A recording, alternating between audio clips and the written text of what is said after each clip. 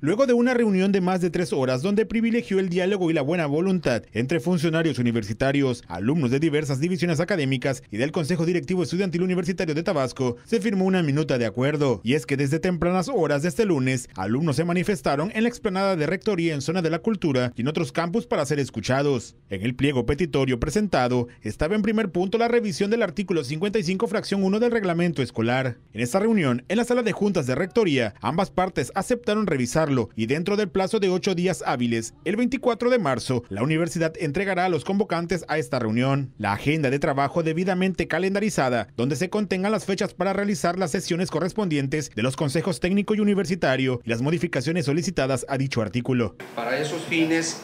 el doctor Gubea se coordinará con el rector, se revisarán las agendas, les pedimos un poco de paciencia porque viene la semana de Juárez, están cordialmente invitados a participar del gallo universitario,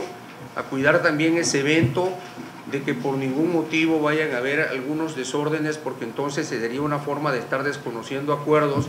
y, este, y entenderíamos que, que el esfuerzo que se ha hecho esta mañana por parte de ustedes y de parte nuestra, pues tampoco sirvió de nada. Se acordó que las modificaciones que se realicen a favor de la comunidad estudiantil respecto del citado artículo 55 fracción 1 serán aplicadas para el semestre en curso. Otro de los puntos acordados estuvo que en un plazo de ocho días hábiles se realizarán los ajustes necesarios para corregir las prácticas de cerrar los baños que realiza el personal de intendencia y que a mediados del mes de abril se iniciará el programa de mantenimiento de los 169 baños que hay en los 12 campus. Además, se buscará que los baños cuenten con agua, papel sanitario y jabón. Para esto, los estudiantes reportarán los sanitarios que no brinden los servicios adecuados, así como vigilar que los estudiantes no causen destrozos en ellos. Otro de los puntos firmados en este diálogo ameno es que no habrá ningún tipo de represalias para los estudiantes que participaron en las manifestaciones realizadas este lunes en la universidad. De igual manera que el alma mater desarrollará foros universitarios para realizar consultas populares sobre temas de interés de los estudiantes, conforme a la agenda que los representantes estudiantiles propondrán a la universidad, donde participarán autoridades universitarias. En esta minuta también se establece que las redes sociales, así como radio y TV UJAT, realizarán realizarán campañas de comunicación para difundir los resultados de la reunión de este día, así como los resultados que se obtengan de la agenda de trabajo relacionada con el artículo 55 fracción 1 del reglamento escolar vigente. Se acordó que futuras adiciones, modificaciones o reformas al reglamento escolar será considerada ampliamente con la comunidad estudiantil.